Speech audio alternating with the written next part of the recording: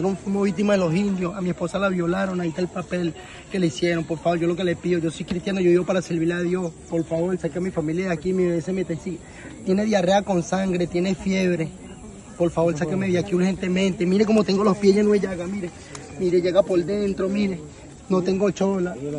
Sí, ella es mi esposa, mire, ahí está, le estoy enseñando los No, por eso la, la defensoría está Pues ayúdeme corazón, amigo, por favor, sáqueme de aquí hoy mismo. Su nombre, por favor. Roberto Castellano, amigo. Sáqueme de aquí, nos quitaron todo, nos golpearon, a mi esposa se la llevaron por una montaña, fue violada, abusaron de ella, nos amarraron como si nos tuvieran secuestrado, nos quitaron todo, alimento, comida, compota. Duramos cuatro días para salir de la selva sin comida sin nada, sobreviviendo, amigo. Vi cantidades de muertos, pero para adelante con mi familia porque creo en un Dios vivo, amigo. Lo único que les pido de corazón, amigo, que nos saque de aquí a mi familia, por favor, y nos pongan donde usted no pueda poner, pero sáquenos de este monte, por favor. en el- comíamos en el camino, eh, en la trayectoria. O sea, no era una alimentación buena ni que sosteniese a una persona para emprender un camino como ese que es tan complicado. Me dijiste que viene desde Chile. Correcto. ¿Por qué desde Chile hacia acá? Porque estaba erradicado en Santiago de Chile y tomé la decisión de irme porque lamentable el caso. No obstante los dominicanos, pero los migrantes de todas las nacionalidades que entran a ese país no son muy bien vistos. Entonces yo, desde el tiempo que tenía ya hasta ahora, tomé la decisión de emigrar a otro país y por eso salí de Chile. Repíteme el mensaje para la gente sobre la experiencia de cruzar el Darién. ¿Por qué tú recomiendas que la gente no lo haga? Bueno, vuelvo y repito lo antes ya dicho. Le exhorto a todas las personas que van a ver este video no cruzar por el Dariel porque es una ruta demasiado peligrosa en donde se pierden vidas, se sufre, se llora, se lamenta, los valientes se vuelven cobardes y hay personas que desean, en vez de estar vivos, estar muertos para no tener que pasar por el sufrimiento que se pasa en ese camino. ¿Cuántos Porque- cadáveres tú viste? en total, yo pude contar siete cadáveres. Entre los siete que vi, el primer cadáver que vi fue el de un nacional haitiano que estaba solo a la- en la parte de arriba. El segundo cadáver que pude ver fue el de un chico de nacionalidad, nacionalidad venezolana, perdón, y ese tenía más o menos algunos siete días de muerte porque su cadáver estaba muy en estado de descomposición. Más abajo, una familia completa de cuatro nacionales haitianos. Una bebé de aproximadamente tres meses de edad, un niño de máximo tres años y los padres, los cuatro. Y más abajo, otro nacional haitiano también muerto.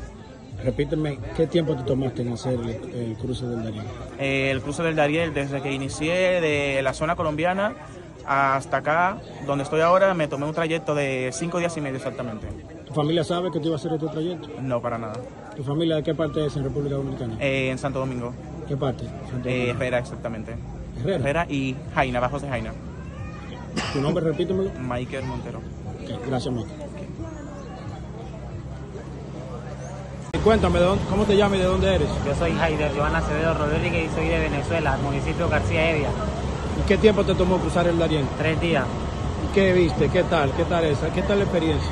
Pues la experiencia estuvo un poquito complicada porque hubieron muertos, hubieron heridos y muchos niños también pues sufrieron también mucho la situación de cruzar toda esa selva y fue- no fue muy fácil pero tampoco fue difícil. Muchos cadáveres encontraron en el trayecto. Yo no vi cadáveres, pero la mayoría sí vieron muertos, sí vieron unos que estuvieron chocados en una piedra, otro que se partió la rodilla por aquí. Vieron, pero yo gracias a Dios yo no vi muertos, yo no vi así nada así de lo, de, de lo nada de lo, de lo normal. ¿Te atreverías a volver a hacer la travesía? Pues si me tocaría lo volviera a hacer, pero por ahora no. Aquí o en la selva. A- En la selva. Horrible. Horrible. A mí me violaron. A mi esposo le iban a matar. Nos quitaron todo, todo, hasta la ropa. No tenemos nada. ¿De qué país vienes? De Venezuela. ¿Cuántos días demoraste en la selva? Cuatro días. Y tienes este bebé y otro más Y una y una niña. Vienes con tu esposo y tus niños. Ahorita mismo, ¿qué te han dicho las autoridades al llegar? ¿Cuánto tiempo sería de espera para el traslado? No, solamente el tiempo de estadía hasta que yo pueda solucionar yo con mis médicos. Respecto a la Cruz Roja, ¿te han, ¿les han podido facilitar algo de medicamentos? Sí, sí, hay me, disponible. me dieron un tratamiento. Incluso ando mal por eso porque me he tomado como 18 pastillas.